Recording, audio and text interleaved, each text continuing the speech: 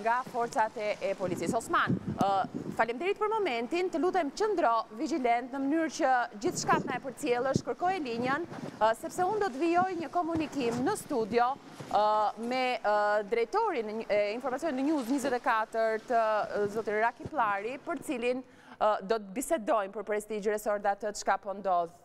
Përshëndetje. Përshëndetje. Jemi në një situatë në fakt të pazakontë, por që përsëritet që nga gushti, tashmë edhe më e rëndë, apo jo? Po, është shumë e rëndë, në fakt është një akt skandaloz, nuk e di, nuk ka asnjë paralajmërim, nuk ka asnjë shkresë, nuk ka asnjë dokument, siç ndodh në një shtet normal, domethënë një shtet ku respektohen disa procedura, ku çohen disa letra, ku bëhet një komunikim e tjerë e tjerë, sepse nuk ka asnjë, nuk, nuk ka, nuk e kuptoj gjithë këtë nxitim, domethënë për të shkuar dhe për të për sulmuar një, një, një nga resortet elitë të, të, të gjithë bregdetit të Shqipërisë. Dhe është, thashë, është, jam totalisht i shokuar personalisht nga, mhm. nga e gjithë kjo, nga e gjithë kjo nxitim, nga e gjithë kjo dhunë, nga e gjithë kjo, si të themi gjithë këto akte domethënë skandaloze që ndodhin ndaj një ndaj një resorti i cili është me leje, është një resort me leje, një resort i cili ka pritur afganët, e këtë e kemi thënë dhe herë të tjera, por duhet, vlen për të përmendur, ka shkuar vetë kryeministri aty dhe i ka pritur afganët. Pra është një resort me leje i ngritur brenda të gjitha rregullave. Por qeveria, domethënë në mënyrë krejtësisht të pa të paparalajmëruar, krejtësisht në mënyrë banditeske do të thoja, Shkon aty dhe rrethon, largon kameramanët, largon pushuesit, largon këto janë skena të denja, domethënë kështu nuk e di, domethënë për regjime për regjime policore, të, të cilat e kanë humbur çdo lloj toruan, çdo lloj çdo lloj arsye dhe bëjnë veprime të tilla. Është shumë e thjeshtë, domethënë kjo, kjo ka po. lidhje vetëm me mhm. një, një hakmarrje, vetëm me Me qëndrimet editoriale të, të News 24, Balkan Web dhe Panorama. Po, Nuk ka asnjë arsye tjetër, kjo është shumë e rëndë, kjo është jashtëzakonisht e mhm. rëndë. Ajo çka ne po përpiqemi të shohim është se çfarë do ndodhë, fadromat janë aty. Mhm. Por, teksa bisedojmë bashkë, çfarë mund të presim në vijim nga kjo situatë? Shiko, unë nuk e di çfarë mund të presim, sepse me këtë qeveri dhe me këtë kryeministër nuk dihet çfarë mund të presësh.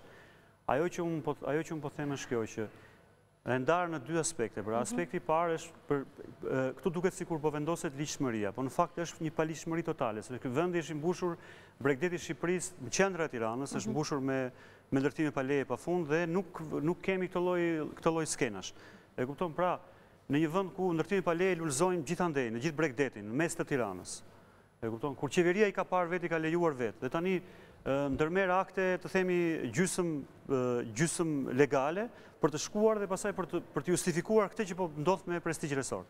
Pra, Kryeministri nuk e ka problemin te vendosja e ligjshmërisë. Përkundrazi, në mënyrë me paligjshmëri, ai kërkon t'u mbyllë gojën dhe kërkon të të vendosi të vendosi diktatin e vet mbi gjithë mbi shoqërinë shqiptare. Dhe kjo është një mhm. alarm shumë i madh për gjithë qytetarët e Shqipërisë mendoj unë, sepse kur kjo i bëhet një botuesi të rëndësishëm, kur kjo i bëhet një pasurive të një të një botuesi kaq të rëndësishëm si Irfan Hysenbelliu me gjithë ato media që ka, mendo çfarë mund të ndodhë me qytetarët e thjeshtë, ne e kemi parë në fakt ça ndodh me qytetarët e thjeshtë, si nëpërkëmben, Por, kjo është një, kjo është një alarm i madh dhe sot, unë mendoj që sot, me këtë që po ndodhë sot, është një lloj dënimi me vdekje për, për, për lirinë e medias dhe për lirinë e shtypit. Mm -hmm. Nuk ka çdokush në këtë vënd që do, do të mundet që të, të, të, të guxojë, që të mendojë ndryshe, të ketë një politikë editoriale ndryshe nga, nga ajo që dikton kryeministri i, i vëndit, atëherë do të përfundojë në këtë mënyrë, me, i rrethuar me polici, në mhm. një ditë mëngjesi,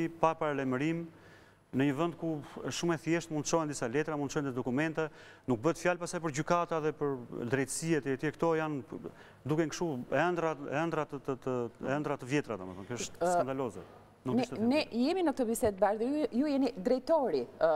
zotëri Rakipllari. Përpiqemi të kuptojmë dhe për gjithë ata që na ndjekin.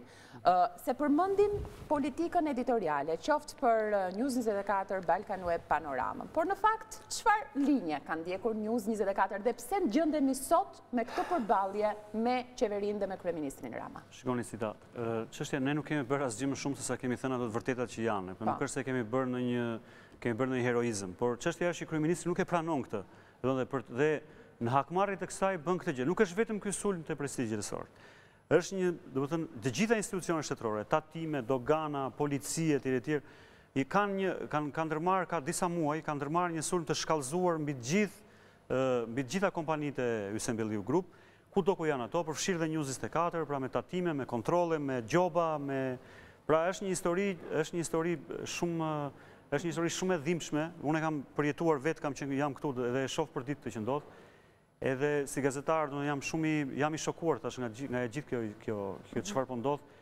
Edhe këto janë pamje, është një kambanë alarmi për gjithë, besoj për gjithë njerëzit, për gjithë qytetarët e Shqipërisë që dhe qytetarët e Shqipërisë praktikisht e kanë dhënë për, e kanë dhënë një përgjigje sepse prandaj prandaj si, njëlloj si në vitin 90 janë duke u larguar me gomone duke duke e braktisur në mënyrë masive këtë vend sepse Këtu nuk ka, është e vetmja e vetmja, të themi, e vetmja alternativë është largimi, braktisja, e tjera e tjera, por mhm.